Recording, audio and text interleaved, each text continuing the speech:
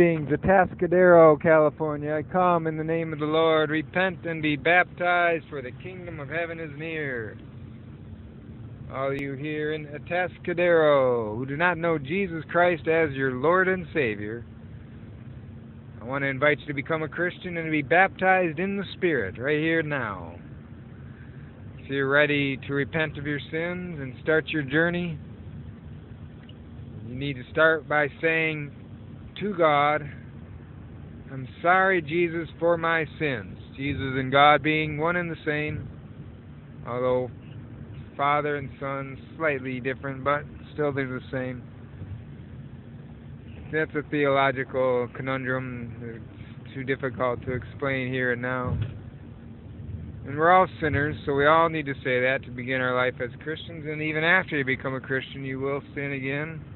Hopefully, you'll be sinning less, though, and becoming more holy. So, if you said that, and then say, I commit my life to you, God, and welcome you into my heart, you can say that or something like that in your own words and mean it. Then I baptize you in the name of the Father, and the Son, and the Holy Spirit. And you are now a Christian on your way to heaven. Congratulations. Welcome to the family of God, the body of Christ, here in Atascadero, California. The biggest, most important decision of your life. A happy day for you and me. It's happy for all of us for you because you're part of us now, brother or sister in Christ.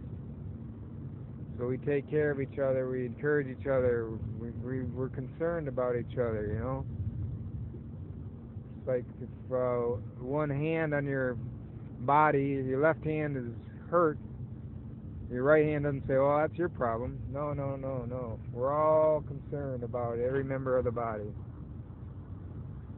So I'll be giving you more information in the description box below. Make sure you read that and message me anytime on YouTube with questions or for a free Bible.